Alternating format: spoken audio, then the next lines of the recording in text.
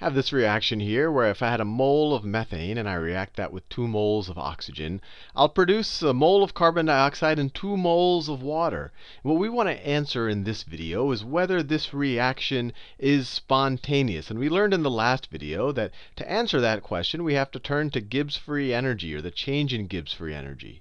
And the change in Gibbs free energy is equal to the enthalpy change for the reaction minus the temperature at which it is occurring times the change in entropy. And if this is less than 0, then it's a spontaneous reaction. Spontaneous. So I got us a, I gave us a little bit of a head start. I, I, I just uh, calculated the change in enthalpy for this reaction, and that's right here. And we know how to do that. We've done that several videos ago. You could just look up the heats of formation of each of these products. It, for water, you'll multiply it by 2 since you have 2 moles of it. And so you have the heats of formation of all the products, and then you subtract out the heats of formation of all the reactants. And of course, the heat of formation of, of O2 is 0, so this won't even show up in it. And you'll get minus 890.3 kilojoules, which tells us that this is an exothermic reaction, that this side of the equation has less energy in it, you can kind of think of it that way, as that side. So some energy must have been released. We could even put here, you know, plus E for energy. Let me write plus some energy is going to be released. So that's why it's exothermic. But our question is, is this spontaneous? So to figure out if it's spontaneous, we also have to figure out our delta S. Our delta S. And to help figure out the delta S, I, ahead of time, looked up the standard molar entropies for each of these molecules. So for example, the standard, I'll write it here in a different color. The standard, and this is just a notation, the standard, no, there's no delta there. Let me, let me erase, so I could just write it here. The standard, standard and standard, you put a little not symbol there. The standard molar entropy, so when we say standard, it's at 298 degrees Kelvin. Actually, I shouldn't say degrees Kelvin. It's at 298 Kelvin. You don't use the word degrees necessarily when you talk about Kelvin.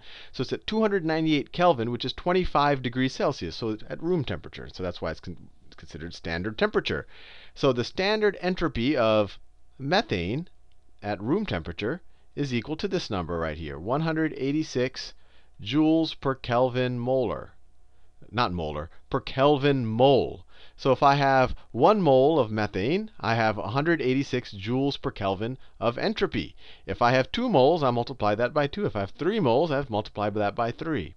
So our total entropy is the entropy, or the total change in entropy of this reaction, is the total standard entropies of the products minus the total standard entropies of the reactants, just like what we did with enthalpy.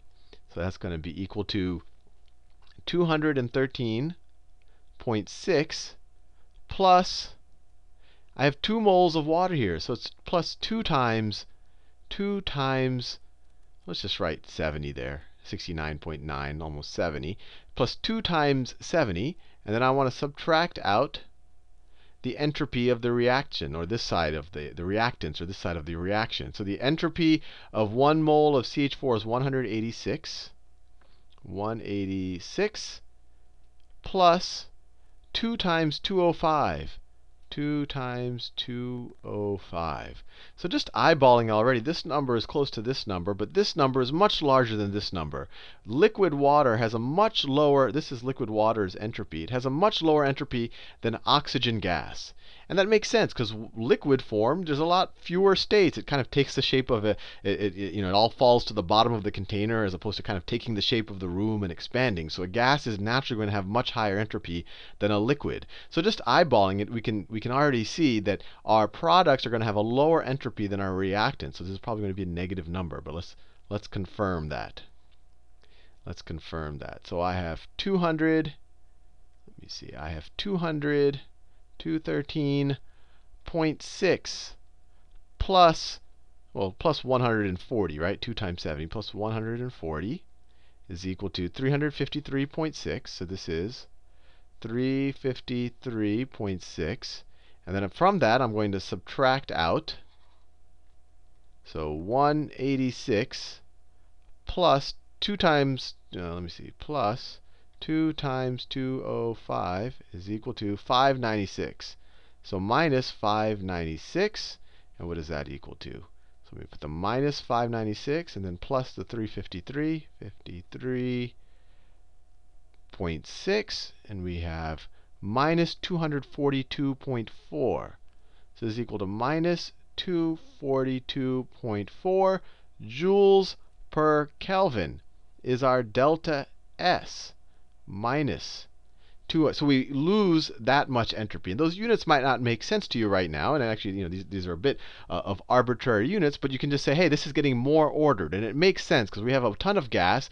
We have three, and we have three separate molecules, one here and two molecules of water, of oxygen. And then we go to three molecules again, but the water is now liquid. So it makes sense to me that we lose entropy. There's, there's fewer states that the liquid especially can take on. But let's figure out whether this reaction is spontaneous. So our delta G, delta G is equal to our delta H. We're releasing energy, so it's minus 890. I'll just get rid of the decimals. We don't have to be that precise.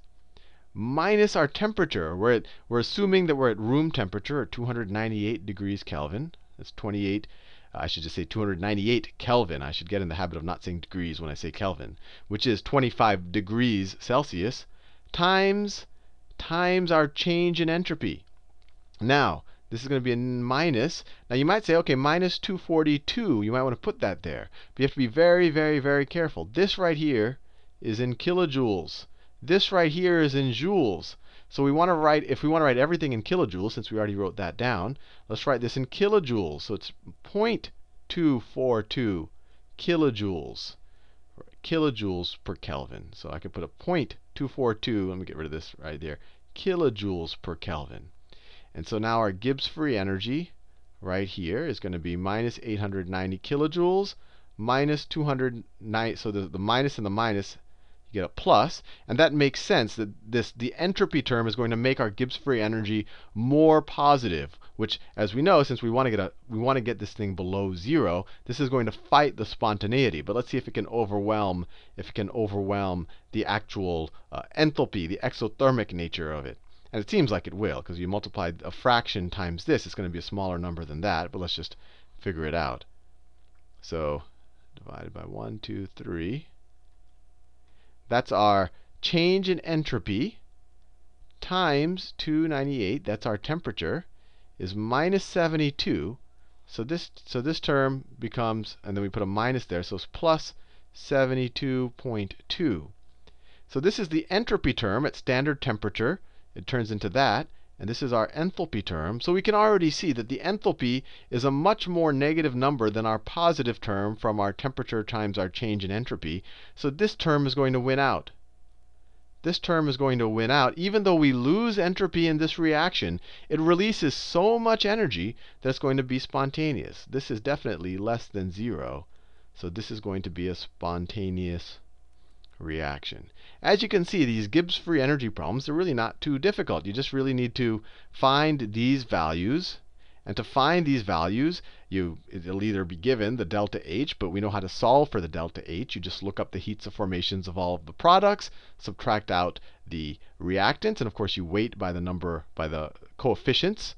And then to figure out the change in entropy, you do the same thing. You have to look up the standard molar entropies of the products, weight by the coefficients, subtract out the reactants, and then just substitute in here, and then you essentially have the Gibbs free energy. And in this case, it was negative. Now, you could imagine a situation where we're at a much higher temperature. Let's say like we're at the surface of the sun or something, where all of a sudden, instead of a 298 here, if you had like a, I don't know, you had a 2000 or a 4000 there, then all of a sudden things become interesting. If you had a, I mean, if you could imagine, if you had a, a, a, a 40,000 Kelvin temperature here, then all of a sudden the entropy term, the loss of entropy is going to matter a lot more. And so this term, this positive term, is going to outweigh this, and maybe it wouldn't be spontaneous at a very, very, very, very high temperature. Another way to think about it, a reaction that generates heat that lets out heat doesn't matter. That the heat being released doesn't matter so much when there's already a lot of heat or kinetic energy in the environment. So if the temperature was high enough,